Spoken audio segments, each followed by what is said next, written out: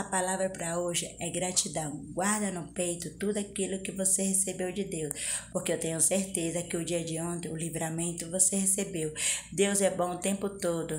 Ele trabalha de maneira que a gente não entende, mas do jeito que a gente precisa. Se você hoje está passando pela situação difícil, você acha que Deus não está contigo porque Ele está em silêncio, lembra, o professor, quando aplica a prova, ele mantém silêncio. Deixa o aluno à vontade para fazer a sua prova tranquila.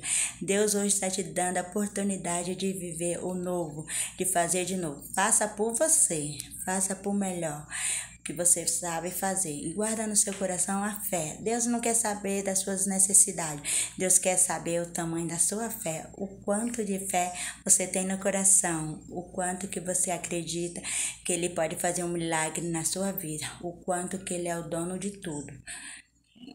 Então, não acabou porque Deus tem muitas coisas para escrever na sua vida. E não acabou porque Deus não terminou com você. Acredita que Ele é tremendo. E quando as bênçãos tremendas chegam na sua vida, você vai ver. Ainda bem que Deus me sustentou até aqui. Você crê? Digite Amém. Beijo da.